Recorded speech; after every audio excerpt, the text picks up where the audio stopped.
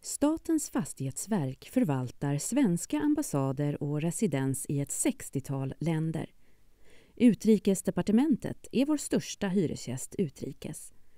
SFV ska vara en förebild i arbetet med en hållbar utveckling och Agenda 2030 inom områden som tillgänglighet, minskad klimatpåverkan, gynna biologisk mångfald och förebygga risker kopplat till arbetsmiljö, mänskliga rättigheter och korruption.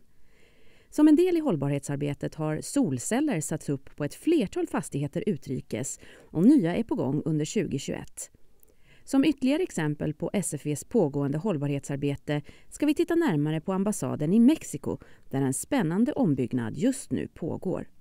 Vi är just nu på och bygger ett nytt kansli till UD. Anledningen till att det här projektet kom upp det var att vi fick en fråga om att hitta ett nytt ambassadörsresidens som skulle vara mindre än det de har idag. Och istället så kom vi fram till att det vore bättre att behålla residenset och utnyttja tomten bättre där residenset ligger idag. Och då kan vi bygga ett nytt kansli som är helt optimerat för UDs behov och sen kan vi utnyttja residenset bättre. Vi började faktiskt redan 2016 med det här projektet och eh, först nu så har vi kunnat sätta första spadtaget i jorden. Men vi har kommit så långt i alla fall så att vi håller på med själva grunden och eh, gjuter betong och bjälklag. Och det nuvarande kansliet som vi har, som ligger några kvarter bort, det kan vi sälja och på så sätt så kommer det in pengar också till statskassan.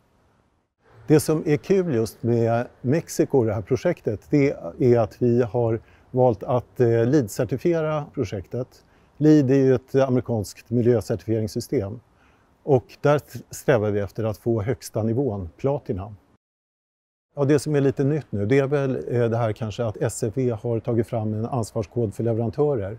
Ansvarskoden bygger på den statliga värdegrunden och på väl etablerade konventioner och deklarationer för mänskliga rättigheter, arbetstagares rättigheter, antikorruption och miljö. Syftet med ansvarskoden är att tydliggöra SFVs krav och förväntningar på leverantörerna för att tillsammans utvecklas i en hållbar riktning. Det här är då ett strukturerat, kanske mer strukturerat sätt att jobba på också. Och det är lättare också att utifrån den här dokumentera också på arbetsplatsen och följa upp. Under 2021 kommer också solceller sättas upp på kansliet vilka beräknas ge en effekt på cirka 15 kilowatt.